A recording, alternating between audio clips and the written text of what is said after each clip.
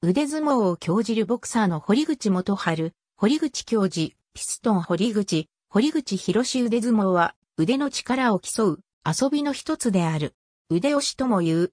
腕相撲はごく単純な遊びであり、世界各地で自然発生的に行われていたと考えられている。日本でも古くから記録があり、例えば日本最古の歴史書である古事記には神々の領土争いで竹見中田人に力比べを持ちかけられた竹見和地の人は腕押しで決着をつけたという記述がある。蘇我物語には力比べの腕相撲、室町時代の義経記にも子供時代の弁慶が腕押しを好んだという表現がある。和名称には源義経も牛若丸時代に鞍馬山で高平の塔なせりと記してあり、相当古くから一般に親しまれていた。腕相撲の別名としては、高平の塔腕、腕塔、手相撲、腕角などがある。胴体などが地面に接触する形で行うものと、机などに肘をついて行うものがある。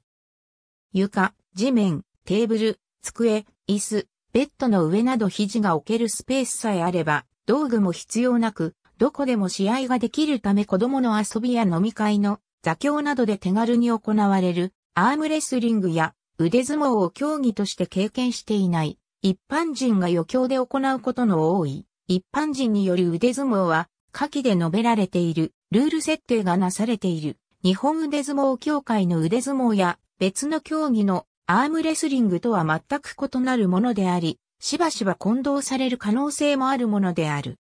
一般人による腕相撲には厳密なルール設定がそもそも存在せず、ルール設定が曖昧な状態で実施されるものであるので、一般人が競技としての腕相撲やアームレスリングを見た時に混同することがある。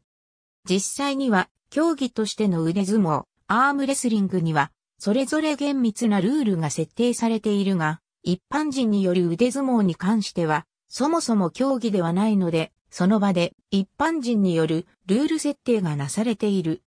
そのため、一般人による腕相撲では、手の甲がテーブルについたら負け、一定の高さまで腕が倒れたら負け、手首を巻き込んだら反則、体重をかけると反則など実施者によってルール設定がバラバラである。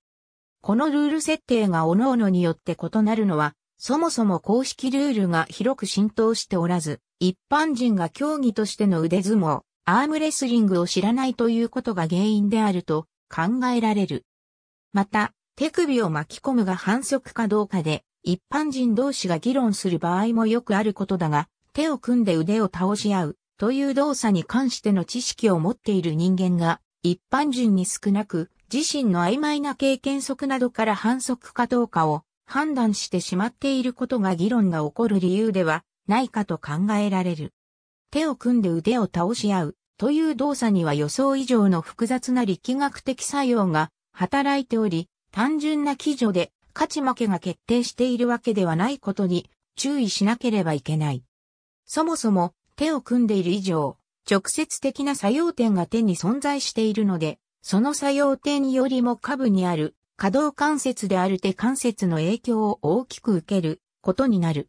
なので、手に作用点を置いている以上、手首の影響は必ず存在するということになる。このことから手首を巻き込むことは反則であるというのは手に作用点を置いた時点で議論する対象から外れてしまい手首を使わざるを得ないので反則以前の問題であると言った方が妥当である。露骨に手首を巻き込まずとも、どれほど気をつけていても手関節の影響は必ず出ていることに注意である。もし、できるだけ腕力のみで腕相撲を実施したい場合は、手に作用点を置かずに、手首の下付近をお互いに合わせて腕を組み、手関節の影響を例にし、肘関節を動かす筋肉を割合的に多く使うような状態にした方が良いと言える。ただし、それでも広背筋や、その他の筋肉の影響、また腕の長さの影響が出てしまうので、腕の筋肉だけに頼った腕相撲というものは存在しない。司会師の山本明は、腕相撲のほとんどが、お互いに肘を固定したまま、握った相手の腕を倒し、鉄鋼を大面か畳面につけて勝ちとするただの力比べであった。この肘の固定はこの長い歴史を持ち続けてきた。どこか捨てがたい魅力ある競技の進歩発展を阻害してきたものと思う。と考えた。従来の腕相撲に様々な要素を加え、大衆の娯楽を兼ねた体力増強、健康増進、精神の鍛錬、相互の親睦を図れる腕相撲道の研究を始めた。1928年に同志を集め、横浜腕の会を作り、腕相撲を基本とした全身運動を考慮した。医学的立場で疲労度や栄養問題、腕の解剖形態と運動範囲をもとにして、腕並びに特に関節部の形態と、競技者の体型角度、足の位置まで考慮に入れ、人体に無理なく、運動効果の上がる対面の寸法の決定と48種の技術を発案し、1934年3月、若木竹丸も加えて、日本腕相撲協会を設立した。1953年4月、日本腕相撲協会に名称変更。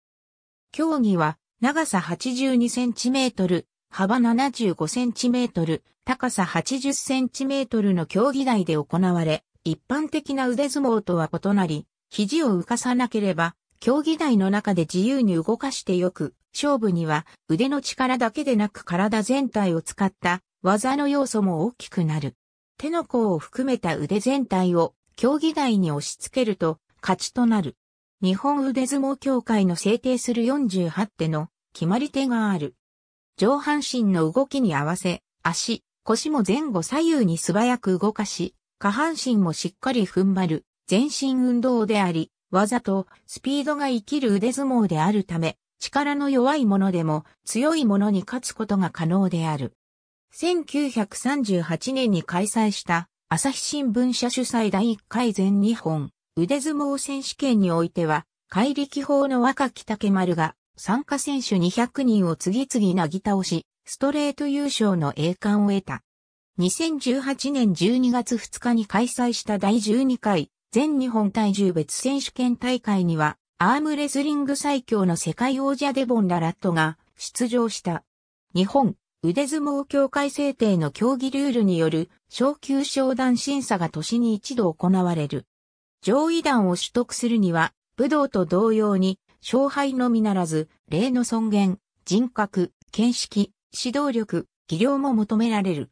1、崩し技2、誘い技3、そもそもさえ込み技4、起こし技5、決め手技6、出し技7、中間技8、特殊技。ありがとうございます。